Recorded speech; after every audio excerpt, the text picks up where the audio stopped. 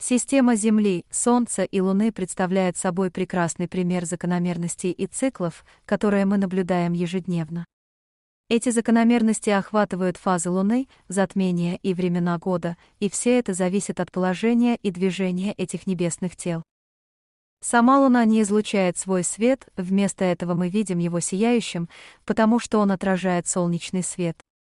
Когда Луна вращается вокруг Земли, освещенная часть Луны, которую мы видим, меняется, создавая фазы Луны. Эти фазы включают новолуние, растущую Луну, первую четверть, растущую Луну, полнолуние, убывающую Луну, третью четверть и убывающую Луну. Затмение происходит, когда Солнце, Луна и Земля выравниваются. Солнечное затмение происходит, когда Луна перемещается между Землей и Солнцем, блокируя свет Солнца и отбрасывая тень на определенные части Земли. И наоборот, лунное затмение происходит, когда Земля находится между Солнцем и Луной, и тень Земли падает на Луну, в результате чего она кажется темной или красной. Ось Земли наклонена относительно ее орбиты вокруг Солнца, и этот наклон в сочетании с орбитой Земли в течение года приводит к смене времен года. Когда Земля наклонена к Солнцу, для этого полушария наступает лето, потому что солнечные лучи падают на Землю под более прямым углом.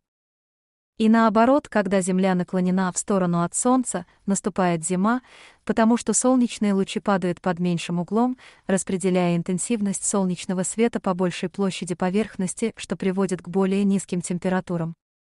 Весна и осень представляют собой переходное время между этими крайностями, когда Земля наклонена ни к Солнцу, ни от него.